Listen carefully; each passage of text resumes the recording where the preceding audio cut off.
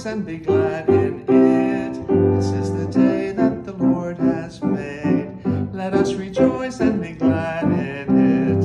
Let us rejoice and be glad. Let us rejoice and be glad. This is the day that the Lord has made. Let us rejoice and be glad in it.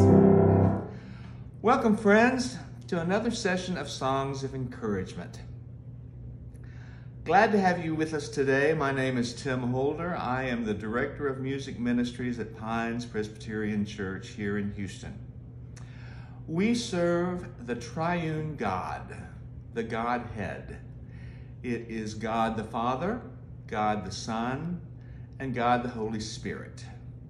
So today I'm going to talk a little bit about the Holy Spirit. Our scripture today is John 14 with various verses from 15 to 27.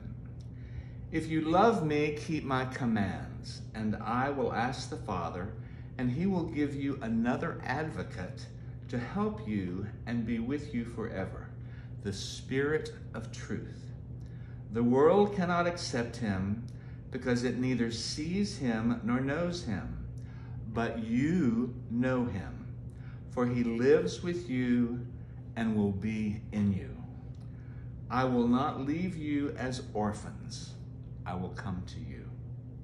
All this I have spoken while still with you, but the advocate, the Holy Spirit, whom the Father will send in my name, will teach you all things and will remind you of everything.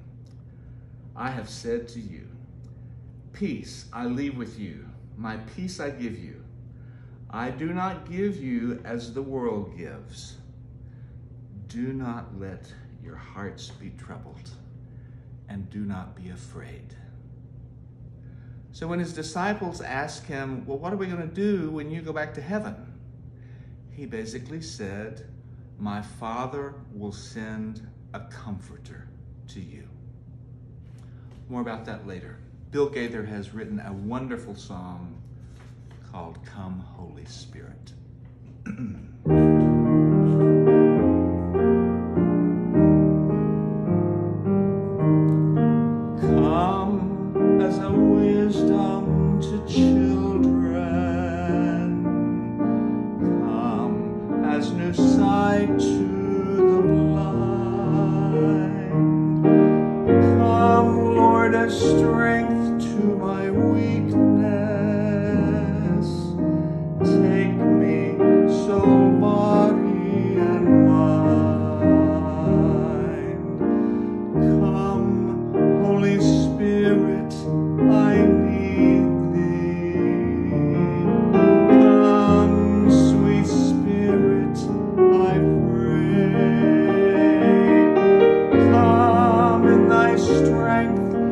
thy power.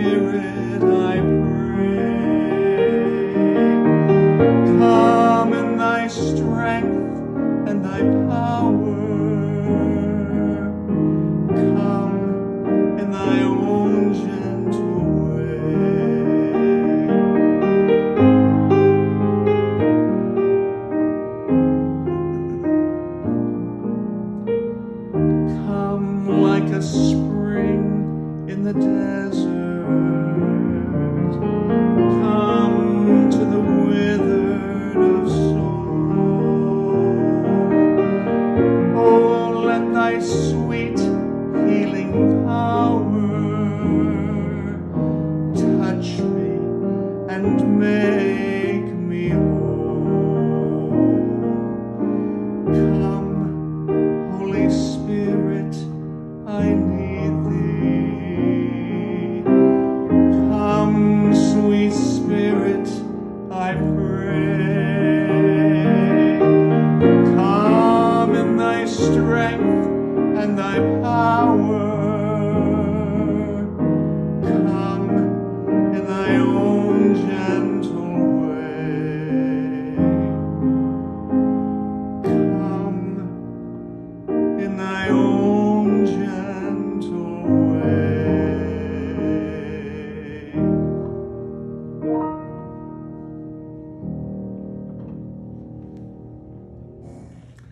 Come, Holy Spirit. And we read in Acts that the Holy Spirit did come one time. It says that it came as flaming tongues of fire. And I like to just picture all these flaming tongues on fire, sitting and resting in the people that were there. And they spoke the language in their native tongues and they understood. Today, I like to think of this, the Holy Spirit as my guide and my comforter. That still small voice that rests within us. You may call it intuition. You may call it a tap on the shoulder. You may call it a gut feeling. You may feel it a gentle nudge. But all of those things I feel is the Holy Spirit guiding us in our daily lives. I did not know our hymn for today until I joined the Presbyterian Church. I grew up in a Pentecostal church, and some of the old hymns of the faith were not in our hymn books.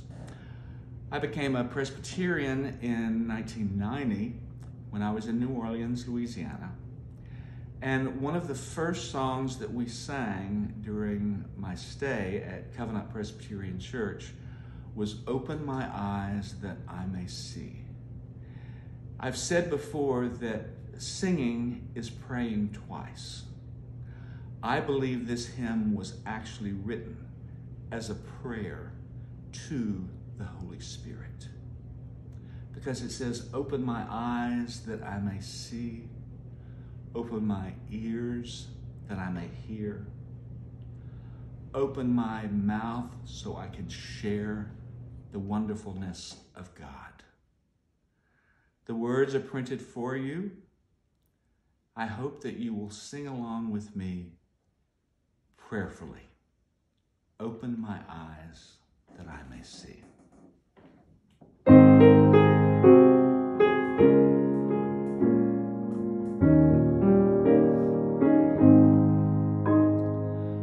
Open my eyes that I may see glimpses of truth thou hast for me. Place in my hands the wonderful key that shall unclasp and set me free. Silently now I wait for thee. Ready, my God, thy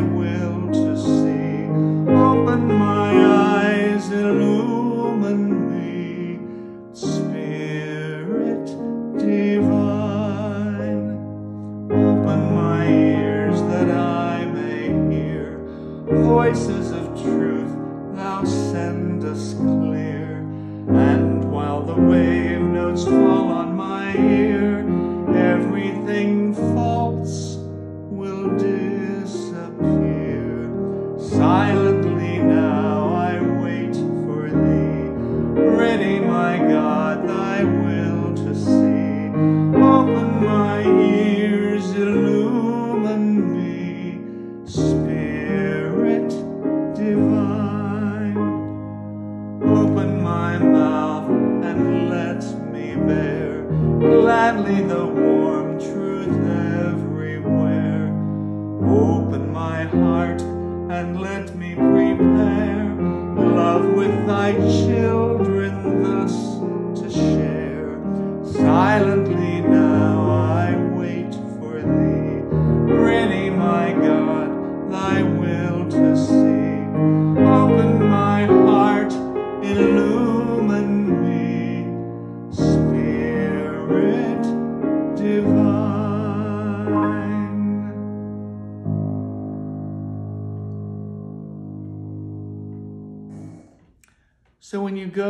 Day to day tasks and you feel that unction to do something, or you feel that still small voice speaking to you,